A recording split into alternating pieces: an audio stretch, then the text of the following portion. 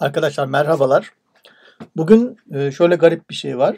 Öğleden sonradan beri yaklaşık bir e, herhalde 3 saat oluyor, 3-4 saattir blockchain sistemi e, çalışmıyor. Giriş yapılamıyor hem telefonlardan hem de bilgisayardan giriş yapılamıyor blockchain'e.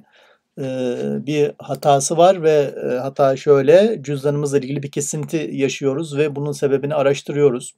Bu süre zarfında cüzdanlarınıza anlık olarak erişemeyeceksiniz ancak paranızın güvende olduğundan emin olabilirsiniz diyor efendim. E, bu tabii ki hemen akla şunu getiriyor. E, biliyorsunuz medyadan takip ediyorsanız bu konuları blockchain e, yeni e, dünya sistemi, yeni kurulan sistem dedikleri sistemin e, ana noktası.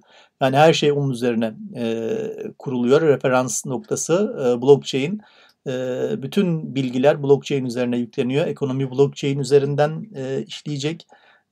dünyadaki sistem blockchain üzerine, yeni sistem, dijital sistem blockchain üzerine kuruluyor. Böyle bir kesinti yaşandığında acaba nasıl bir şeyle karşı karşıya geleceğiz? Şu an hayatımızın odak noktası değil blockchain. Yani her şeyimiz blockchain'de değil.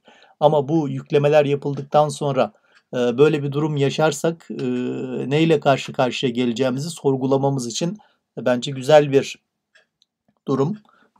Blockchain bugün 4-5 saattir çalışmıyor arkadaşlar. Böyle bununla ilgilenen arkadaşlar için ben de bu videoyu çekmek istedim.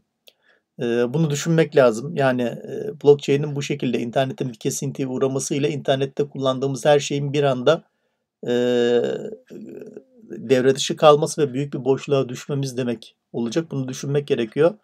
Hepinize iyi günler, iyi akşamlar diliyorum arkadaşlar.